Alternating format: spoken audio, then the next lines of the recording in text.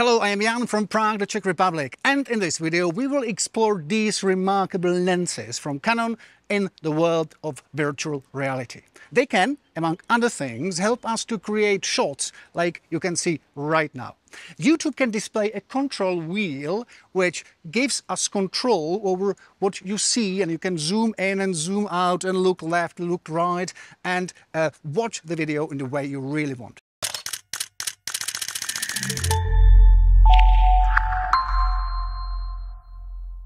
Before we really start, just a quick clarification of what you are actually seeing. It might be confusing and I know it. So this is Adobe Premiere Pro, one of the key parts of the adventure we are just about to explore.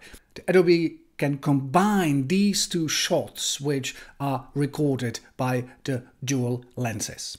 So that's just the first explanation, we'll get to it later. The second point is, uh, typically when we speak about virtual reality, you would expect that we'd be playing with headsets or glasses with these fancy things which help you to create the feeling.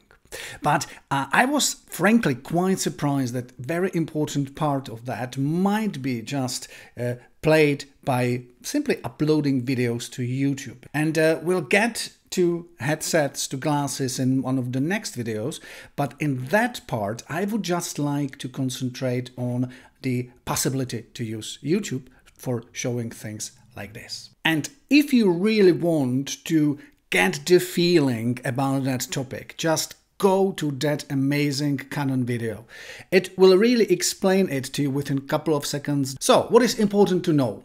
Uh, Canon has introduced a new dual lens Canon RF-S 3.9 and uh, it's quite important because they are meant to be cheaper alternative to the original uh, Canon lens which by the way was used uh, to record uh, these shots.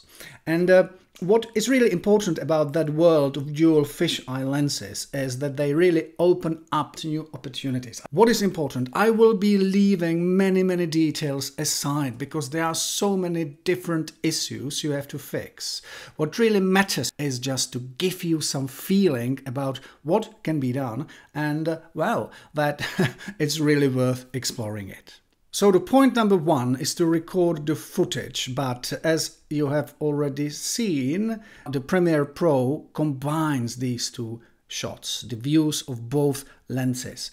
Before we do this, uh, we have to work with something which is called VR utility.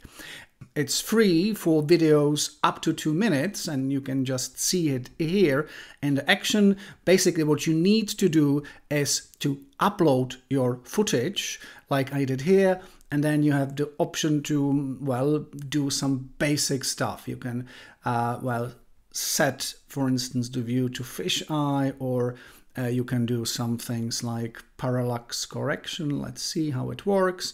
And again, I, I think these details are not what I want to play with today because, uh, again, the, the, the exact technology is evolving and it would require a separate video, which I'll hope to do sooner or later.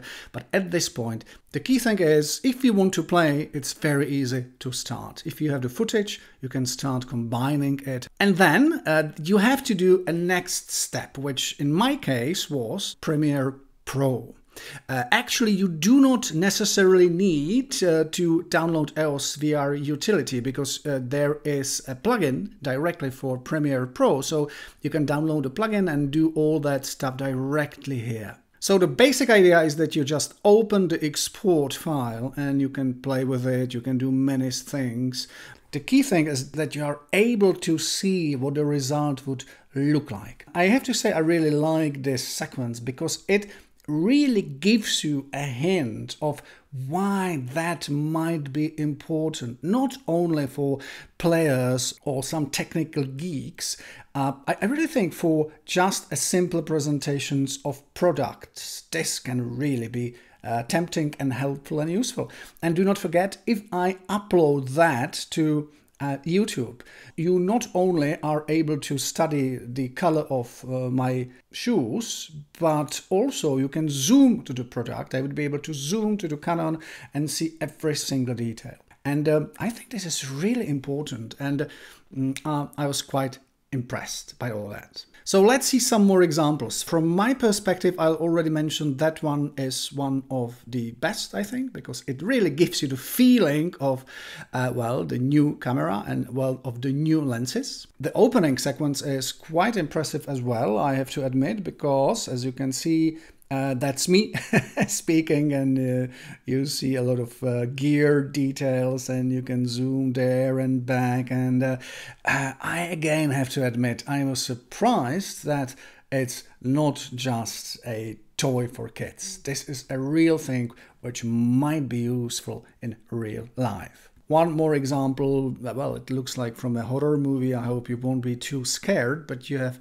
these two things moving there and back and i'm standing here in the middle of field and uh, again you are able to look there and back and yeah here I am. And of course, we are seeing only 2D, but if you have these uh, headsets or glasses, you would be able to see me in 3D, which I'm not sure if I really want you to do. And one more example and one more footage of myself again in that great space, and you can read everything and study every single detail of the scene. So I really think it makes sense. So, I do hope you had a chance to see at least a bit of what that little great piece of technology can do.